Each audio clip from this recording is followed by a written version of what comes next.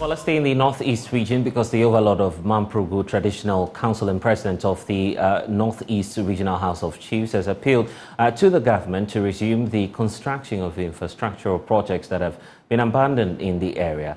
The Nayiri, in particular uh, called for the completion of all abandoned road projects in the region. He spoke at the annual Bewa homecoming event. Correspondent Ilyasu was also there. The annual Biwa homecoming event is an initiative by the Mamprugu Youth Association to bring together the sons, daughters, and all descendants of Nagbewa to rekindle and strengthen their, their brotherly and sisterhood. Nagbewa, the great African king, is ancestor of the Mamprugu, Dagbon, Nano, and Musi people. The theme for this year's occasion was strengthening relationships with our neighbors through culture and education, the role of the youth. It was held in the traditional capital of Mamprugu and attended by a wide range of dignitaries, including chiefs, politicians, religious leaders, youth groups, amongst others. In his opening address, the president of the Mamprugu Youth Association, Idris Shaib called on the descendants of Nagbewa to appreciate their diversity and value the bonds that unite them. The president declared their fullest support for the establishment of the Nayiri Educational Fund in line with the commitment to education in Mamprugu. Maya pledges to support the launch of the Nayiri Education Endowment Fund and we will do everything humanly possible to ensure its sustainability. We are by this urging all sons and daughters of Mamprugu to support the fund. This is not just a financial initiative. It is an investment in the intellectual growth of our youth. By contributing, we ensure that educational opportunities become a beacon of hope for generations to come. The Maya president also expressed concern about the growing incidence of hard drugs use among the youth and called for a concerted national response to the menace. Together, let us explore effective measures to address this challenge and nurture an environment that fosters the physical and mental health of our young people. The Mamprugu Youth Association also announced the introduction of an award scheme aimed at motivating the workforce of the region and improving productivity.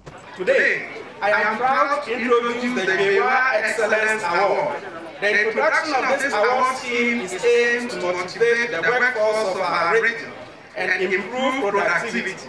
Recognizing and celebrating excellence is a powerful motivator for progress and development. Speaking on behalf of the Yana, a paramount chief of Nanton who led a nine-member delegation to the event, Na MB Bawa, congratulated the Mamprugu overlord for his enormous contribution to the continued peace and tranquility in northern Ghana.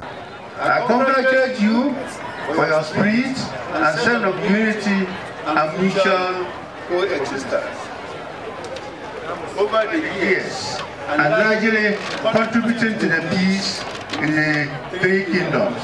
The Yana suggested replication of the ceremony annually in the other kingdoms of the Gbewa lineage. There were also speeches delivered by representatives of Nanong, Musi, and leaders of the youth groups. A speech was also read on behalf of the Nayiri, Nabaga Abdullahi Mahami Shariga. Let's carry the spirit of unity, understanding, cooperation beyond these festivities. Let it be guided, let it guide our actions, inspire our youth, and strengthen the bonds that connect us as one people. The overlord also voiced his concern about the disturbing phenomenon of drug peddling among the youth whilst announcing a creation of an educational fund as part of measures to address the dangerous trend. The sustainability of this noble endeavor, I earnestly appeal to all to contribute generously to the Education Endowment.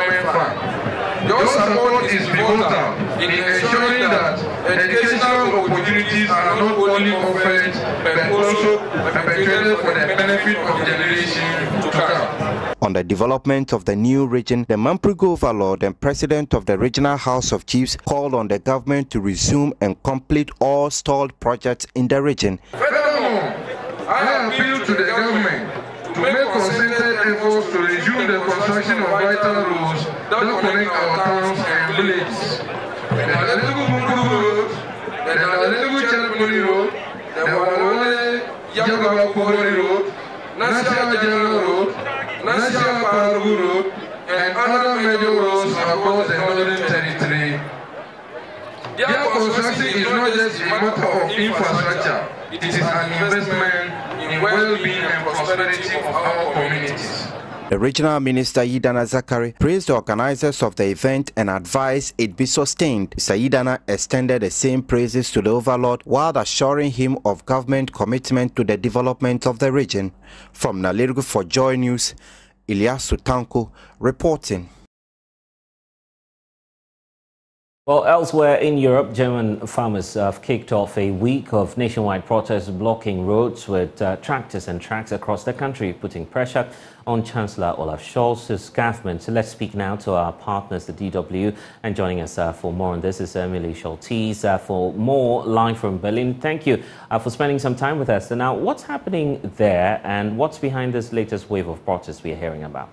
So the farmers are protesting over cuts to subsidies that affect them, in particular fuel subsidies for some of their various vehicles. And this has come as a result of a budget shortfall in Germany last year and some budget cuts heading into this year. It's something that has it's not that there have never been farmers' protests before, but this is really at an unprecedented scale. And so you're seeing not just here in, in the capital, but in cities and towns across the country, um, sort of an unprecedented level of anger and frustration with this government. And that's something that has, has been directed at different government officials, in particular the Vice Chancellor, Robert Habeck, uh, including people accosting him on his vacation and cutting his vacation short uh, over these issues. There are many who are wondering what the underlying problem is uh, facing these farmers, a reason for which uh, they've been carrying out this protest in Germany.